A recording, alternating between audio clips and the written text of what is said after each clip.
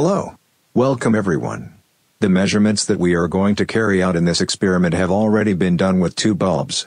The difference here is therefore that there is a bulb and a resistor. So we will use the letters to follow the instructions, which are there. I wrote these instructions under the video, in the description part.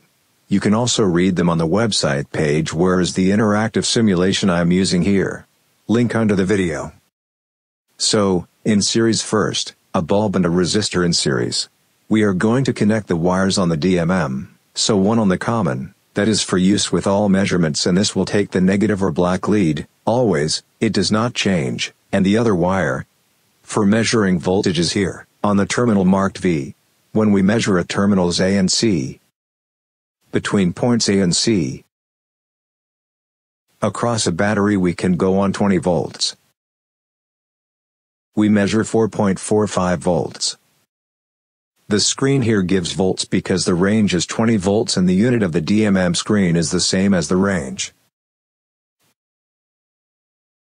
Across the lamp.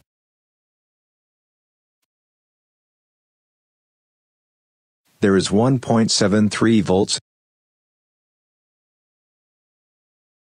and across the resistor 2.72 volts. When we are asked to compare VAC with the sum VAB plus VBC, we find that VAC is the sum of VAB and VBC. The voltage applied to a series circuit is equal to the sum of the individual voltage drops. If we make a parallel circuit,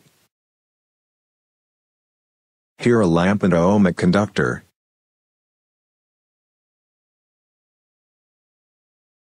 when we measure VPN,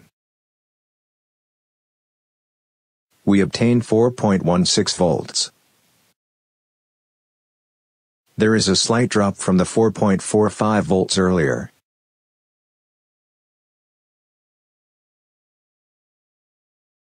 Here we measure 4.16 volts, the same value. And finally 4.16 volts because the law says it, the voltage measured at the terminals of dipoles connected in parallel is the same. That's it for this video. Thank you.